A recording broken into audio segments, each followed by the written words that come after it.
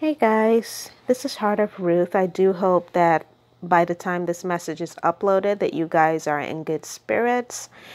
I am still laying in bed. It's quite early. It is 4:20 a.m. in the morning where I am. And um, I just had a dream that I'd like to share with you guys. And you know something, I know this is for somebody. I know this is going to help someone because I just tried to record this word and when I replayed the recording, when I hit playback, there was nothing, there was no sound. So obviously, Satan is trying to prevent me from putting this word out, but you know what? I will press because God wants me to. So I had this dream recently. And in the dream, I was at my workplace and I was being summoned into this meeting with these people who in waking life I know do not like me.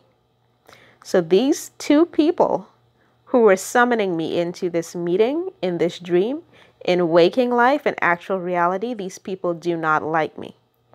These people are also my superiors in the workplace. So they occupy a more senior or higher position than I do currently. And I would have had to gone through them for training when I first went into the company. And I kid you not, from then till now, these people have had a problem with me because simply because they're threatened by my potential.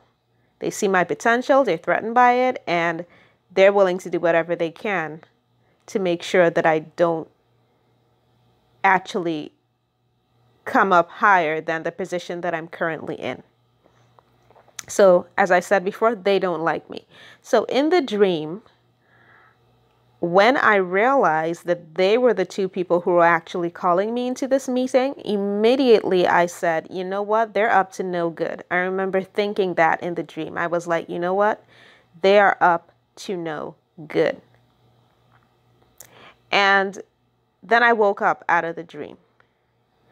So, for whoever this is for, whoever this message is for, there are possibly people at your workplace, and they could possibly be in senior positions to you.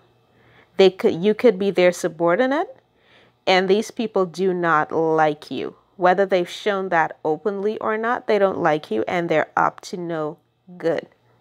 So don't be surprised if they try to call you into some sort of meeting or something like that to accuse you of something or to try to get you to slip up.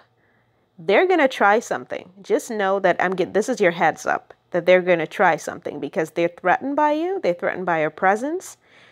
They think that you have the potential to probably occupy a more senior position than the one that you're currently in, and they want to make sure that that doesn't happen. Okay? So you need to be careful. You need to watch your back. You need to try not to slip up in any area because that's what they're waiting for. They're just waiting for you to slip up to possibly even stain your reputation in the workplace. So that's the word. Please be careful, guys. Stay prayed up. I love you guys. I'll be back with another word as the Lord releases me.